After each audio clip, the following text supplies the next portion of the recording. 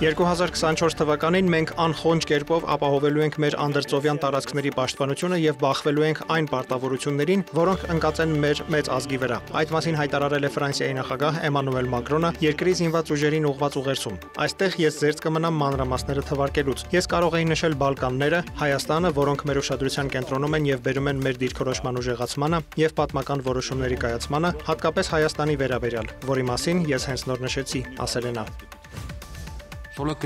Իսրայելը ֆինանսապես աջակցել է Պաղեստինյան արմատական Համաս շարժմանը Պաղեստինի ազգային վարչակազմին դիմակայելու համար։ Այդ մասին հայտարարել է Եվրամիության արտաքին գործերի եւ անվտանգության քաղաքականության հարցերով բարձր ներկայացուցիչ Ջոզեփ Բորելը փոխանցում է Reuters-ը։ Համասը ֆինանսավորվել է Իսրայելի կառավարության կողմից փորձելով թույլատրել Պաղեստինյան վարչակազմը, որը գլխավորում է Պաղեստինի ազատագրական շարժումը, ասել է Բորելը։ Գործակալության տվյալով Իսրայելի վարչապետ Բենյամին Նեթանյահուն հերքել է նման մեղադրանքները։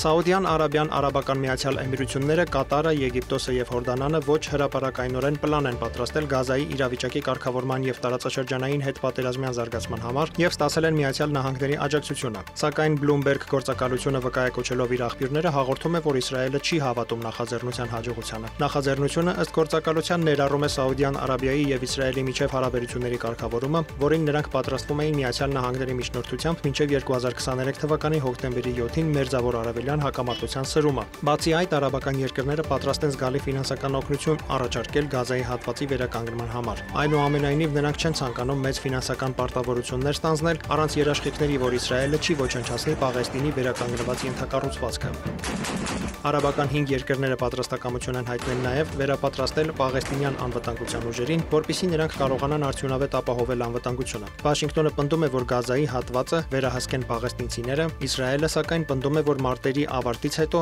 հենց հրեական պետությունը պետք է վերահսկի անվտանգությունը Գազայի հատվածում եւ Հորդանան գետի արևմտյան ափին։ Երկու անանուն պաշտոնյա լրատվական գործակալությանը հայտնել է, որ կարգավորման հարցում առաջընթացը հնարավոր չի լինի, քանի դեռ իշխանության ղեկին է վարչապետ Բենյամին Նեթանյահուի աջակողմյան կոալիցիան։ Դավիթ Մուրադյան լուրեր